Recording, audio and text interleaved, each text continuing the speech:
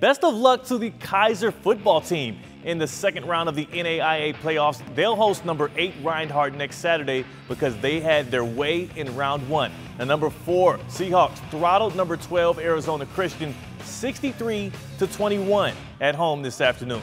They showed no rust after a five month hiatus from football. It was a wire to wire dominant victory. Keiser put up points on all five of its first quarter possessions, and junior quarterback Eli Matthews was named offensive MVP. He threw for three touchdowns and had no turnovers. Palm Beach Gardens alum spoke on the energized performance. So we came into this week. We wanted to we wanted to start fast and stay hot. So when we had shots, we took them, and when we had to run the ball, we just ran. We just worked all week watching the film, and they were giving exactly what we saw on film. So we just tried to take those shots. Defense was good getting doing a good job giving us the ball in good position, so we just took the shots when we had them.